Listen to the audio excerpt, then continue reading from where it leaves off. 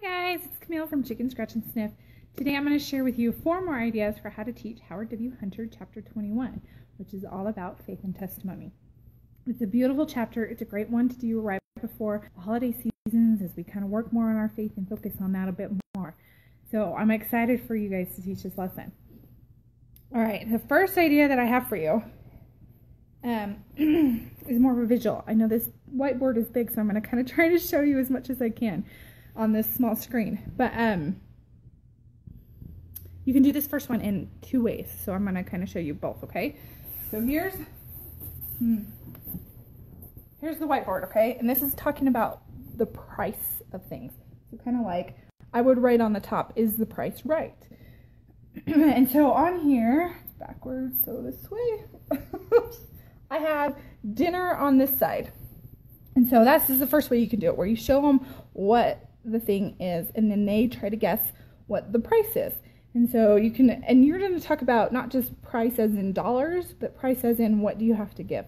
So, for example, for dinner, it's not just the money that you spend on groceries, it's also the time and the planning and the cleanup and things like that that's involved with that price. And then you can say, well, are you willing to pay the price for dinner? And most people are going to say yes, even though they don't always want to, right? okay, so then the other way that you can do it is you start with the back side where the price is instead. And so this one, for example, can you see that? It says $10,000 in time. So what would be that? And are you willing to pay that price without knowing what it is that you're paying for? And then this one says um, hard work, time, patience. As in it's going to take a lot of months, maybe years, of a lot of hard work in order to, to get this thing. And so you can ask people, you know, which one would you pick? Why do you choose that way? Um, maybe people are trying to pick the $10,000 one because they think that it's going to be a greater reward. Maybe people pick the one that's only $10 because, or the one that only takes time because it's free. You just have to put in that effort. Um, and so you can kind of talk about that. And then you can flip them over. And this one says school, and this one is faith. And so in the chapter, it talks about are we willing to pay the price?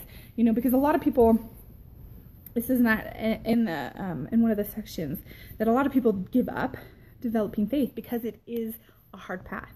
It's not something that you just instantly attain. It's not like you follow A, B, and C and bam, you get the results. You have to work on it and you have to develop a lot of different things and you have to continually work on faith in order to have it, in order to create that testimony. And so he says a lot of people aren't willing to do that. And so that's why I'm saying um, call this one is the price right? Because are you willing to pay the price? Is that the price that you um, accept in order to get the result that you want? Okay, so idea number two. It, um, faith and testimony um, reminded me of something in general conference recently about, hold on, I gotta find my other prop. about how faith and testimony doesn't necessarily mean um, seeing harder, seeing more. It means seeing differently because we have to see with our spiritual eyes, right? We can't just see faith with our natural man eyes. And so I'll demonstrate this with a couple of props, and you can have people come up to the front for this. So I have binoculars and I have sunglasses. And then you can have somebody that doesn't have anything on. So bring them to front of the class and ask them to see in a corner or something across the room and say, what do you see there? And they have to hold these up. So what I would do is on one of these, just one of them, I would put like a piece of paper here that says what I actually want them to see. You know, maybe it's a picture of a dove, maybe it's the word faith, but I would put that in here. And so when they hold them up, that's what that person sees. But everybody else can't see it. And you can be like, Are you sure you don't see it? It's right over there. Look harder. And they're like, No, I don't see it say, well, look, go look closer. No, I don't see it. And, and then ask this person who has the different one what they see and how they were able to see it. It wasn't because um, they weren't, um, it's not because they didn't get close enough, these people weren't able to see. It was because they were seeing differently, and we have to see with our spiritual eyes. So that's just kind of a way to demonstrate it. And I know that sometimes these things seem kind of goofy, but you guys, it honestly is ways that kind of stick with us when we do these types of props and things and help um, different types of learning that way. So if it's not something that you normally do, go ahead and give it a shot. Don't be afraid of it, okay?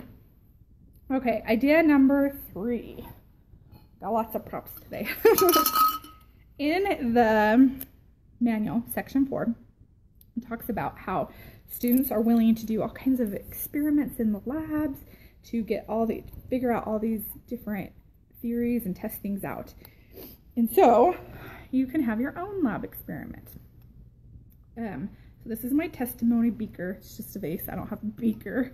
and then I have some um, flower tubes, you know, what you stick on the flowers and go in here because I don't really have test tubes, okay? so these are pretty cheap that you can find.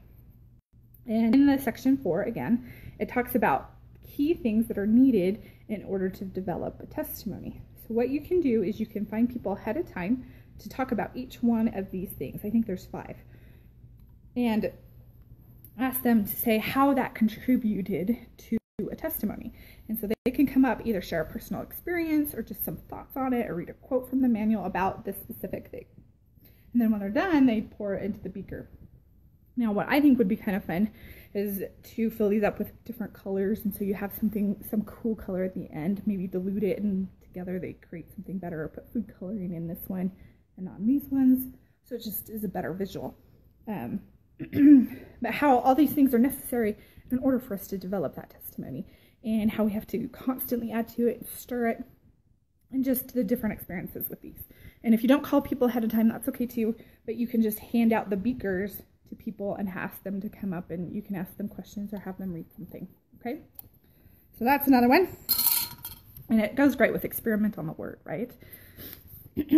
okay, last thought is President Uchtdorf. You've got to love his talk from the women's session where it's fourth floor, last door. And that goes so well with this lesson and with the fact that faith is a lot of work. And sometimes we knock on that first door and we expect that answer and we don't get it. And so we knock on the second door and we're like, surely this time, nope. And we knock on the third door and we're like, come on, I thought I was doing everything right. And then we give up because we didn't find it. But President Uchtdorf tells us to go to the fourth floor, the last door, right? Like those missionaries did and how we have to keep trying in that we're developing that testimony along the way as we exercise that faith by continuing to knock. And then the reward at the end is so much greater than we expected in the first place when we walked on that first door. And then he also talked about two things that faith are not. And I think that's a great point that you can bring into your lesson as well. But make sure that somebody isn't going to be teaching that the fourth Sunday so you're not taking from their lesson. Okay?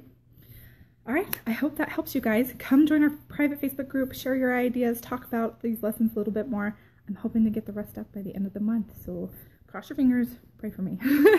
you guys have a great week.